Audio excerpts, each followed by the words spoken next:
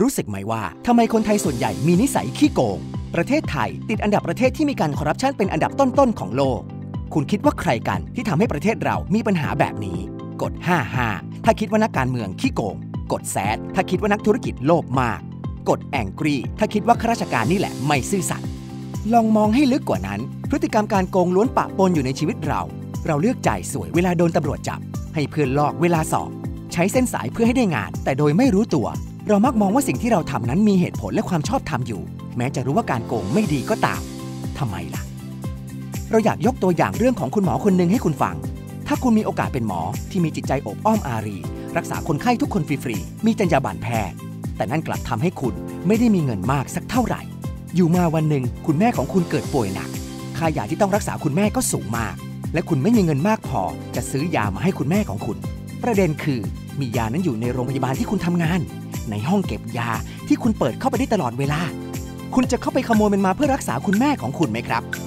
ไม่ต้องรีบครับ ผมรู้เรื่องแบบนี้ต้องใช้เวลา ไม่แปลกที่คุณจะลังเลอยู่นาน นั่นก็เพราะว่าในประเทศไทยการทำความดีเป็นคนละเรื่องกับการเป็นคนดี การเป็นคนดีเป็นเรื่องของการกระตันอยู่ เป็นลูกที่น่ารักของครอบครัว ส่วนการทำความดีเป็นเรื่องของการซื่อสัตย์สุจริตและเสียสละ ความเชื่อแบบนี้ถูกหล่อหลอม และสร้างขึ้นมาตั้งแต่เรายังเด็กแล้วครับ ลองย้อนนึกดูเล่น ๆ ว่า ตอนเด็กๆ คุณพ่อคุณแม่สอนอะไรคุณบ้าง World Value Survey ได้สำรวจคุณธรรม 3 ข้อที่แตกต่างกันของประเทศที่พัฒนาแล้วกับประเทศไทย ประเทศที่พัฒนาแล้ว ผู้ใหญ่สอนลูกให้รับฟังความเห็นผู้อื่น เคารพสิทธิสาธารณะ ช่วยเหลือคนแปลกหน้า ส่วนในประเทศไทย ระเบียบวินัย เรียนสูงๆเชื่อฟังผู้ใหญ่คือ 3 ข้อหลักๆ ที่พ่อแม่สอนลูก ผลการสำรวจอาจจะไกลตัวจากวัยเด็กของเราไปหน่อย เรามาดูที่นิทานดีกว่า ลองนึกดูครับว่า เวลานึกถึงฮีโร่ในนิทานไทย เรานึกถึงใคร และนิทานเรื่องนั้นสอนคุณค่าอะไร ถูกต้องแล้วครับ ตัวละครแรก ๆ ที่เรานึกถึงคือสีถนนชัย ซึ่งจริง ๆ สีถนนชัยไม่ได้ซื่อสัตย์นะครับ เราถูกสอนว่า ความฉลาดเท่ากับการรู้จักเอาตัวรอดเป็นยอดดี ในขณะที่คนที่ถูกหลอกและถูกโกงนั้น เป็นคนโง่ที่ไม่ทันคน นอกจากเราถูกสอนแบบนี้จากที่บ้านแล้ว ที่โรงเรียนของเราก็ยังสร้างและปลูกฝังความเชื่อแบบนี้กับเราต่อครับ สถานที่ศึกษาของเราเป็นที่เริ่มต้นของการโกง จากสถิติตั้งแต่ปี 2542 ถึง 2557 เป็นเวลา 15 ปี สถิติการจ่ายค่าแปะจี๊ยเราสูงขึ้น 16 เท่า ที่น่าสนใจคือ บ้านที่รวยกว่า มีแนวโน้มที่จะจ่ายเงินแปะเจี๊ยมากกว่าบ้านที่ยากจน ในสถานการณ์ที่คุณภาพการศึกษาไม่เท่าเทียม และโรงเรียนดีๆ มีจำนวนจำกัด ใช่หรือไม่ว่า การจ่ายเงินเพื่ออนาคตของลูกหลาน เป็นเรื่องที่หลายคนคิดว่าถูกต้องและเหมาะสม แม้มันจะเป็นการโกงรูปแบบหนึ่งซ้ำร้าย โรงเรียนดีที่แย่งกันเข้า มักมีเป้าหมายในการสร้างนักเรียนที่มีคุณภาพ ซึ่งถูกลดรูปให้เหลือแค่การที่เด็กสอบได้คะแนนดีๆในห้องเรียน ลองย้อนนึกดู ตอนเด็ก คุณเคยเป็นเด็กหน้าห้องหรือหลังห้อง และคุณครูให้ความสำคัญเท่ากันไหม เด็กที่โรงเรียนมักถูกแบ่งออกเป็น 2 ประเภท คือเด็กที่สอบคะแนนดี กับเด็กที่สอบได้คะแนนไม่ดี ซึ่งครูก็จะดูแลเด็ก 2 กลุ่มนี้แตกต่างกัน ทายกันเล่นๆครับว่า เด็กที่สอบได้คะแนนดี กับเด็กที่สอบได้คะแนนไม่ดี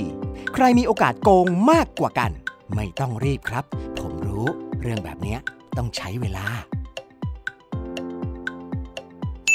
เด็กทั้งสองประเภทมีโอกาสโกงเท่ากันครับ เพียงแต่ว่าโกงด้วยเหตุผลคนละแบบ เด็กที่เรียนเก่ง มีโอกาสที่จะโกงเพื่อรักษาความเก่งเอาไว้ เพราะต้องการให้ครูหรือผู้ใหญ่ยอมรับในความเก่งของตัวเองต่อไปเรื่อยๆ ส่วนเด็กหลังห้องจะโกงไปเรื่อยๆครับ เพราะไม่มีใครในโรงเรียนสนใจเขาเท่าไหร่อยู่แล้ว ถ้าบ้านและโรงเรียนคือที่หล่อหลอมพฤติกรรมการโกงเหล่านี้ ยังมีอีกสถานที่หนึ่งที่ทำให้พฤติกรรมนี้คงอยู่ได้ในสังคมของเรา นั่นก็คือ วัดครับ คุณเคยไปวัดกันใช่ไหมครับ เคยสังเกตไหมว่า คนที่ไปหน้าพวกเขาดูรู้สึกดีหรือรู้สึกผิดจำคำถามที่ผมถามว่าถ้าแม่คุณป่วย แล้วคุณจะขโมยยาเพื่อไปรักษาแม่ได้ไหมครับ นี่คือคำถามที่มีการทดลองถามคนทั่วไปจริง ๆ ซึ่งคนส่วนใหญ่เลือกจะขโมยยาไปให้คุณแม่ครับ ผลการสำรวจ 85%ของคนตัดสินใจขโมย ให้เหตุผลว่า พวกเขาเลือกจะเป็นคนดีโดยการกระตันยูและความผิดที่เกิดขึ้นนั้นสามารถทำดีชดเชยได้ และการทำดีที่ง่ายที่สุดก็คือการทำบุญ พูดง่าย ๆ ก็คือทำดีมาเยอะทำผิดได้นิดหน่อย หรือทำผิดมาเยอะ มาทำดีชดเชยหน่อยละกัน ซึ่งเราต้องอย่าลืมว่าความรู้สึกของเราชดเชยได้ครับ แต่ผลลัพธ์ของมันชดเชยไม่ได้ ที่น่าสนใจคือ มีผลการสำรวจพบว่า ไทยมีสถิติการบริจาคเงินสูงสุดเป็นอันดับ 5 ของโลกเลยทีเดียว น่าคิดเหมือนกันนะครับว่า ยอดนั้นเป็นยอดของการทำบุญ หรือการทำบาปกันแน่ จะเห็นได้ว่าเราทุกคนนี่แหละที่อยู่ในระบบของการโกงทั้งนั้น ผ่าน 3 สถาบันหลักของเราคือ บ้าน โรงเรียน และวัด แล้วเราจะเปลี่ยนแปลงมันได้อย่างไร ในชีวิตจริง เราต้องเผชิญกับสถานการณ์ที่ต้องเลือกระหว่างการโกงกับไม่โกงอยู่เสมอ ถ้าคุณเป็นหมอคุณจะขโมยยาหรือเปล่า ถ้าคุณเป็นพ่อแม่ คุณจะจ่ายเงินให้ลูกเข้าโรงเรียนดีๆ หรือไม่ ถ้าญาติคุณป่วย และคุณมีเส้นในโรงพยาบาล คุณจะลัดคิวไหม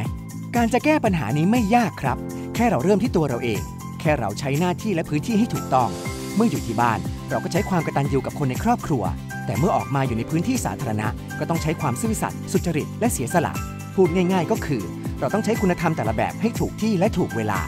คุณจะยังยืนยันคำตอบเดิมอยู่หรือเปล่า คุณว่าใครมีส่วนกับการโกงบ้าง กด 55 ถ้าคิดว่านักการเมืองขี้โกง กดแซดถ้าคิดว่านักธุรกิจโลภมาก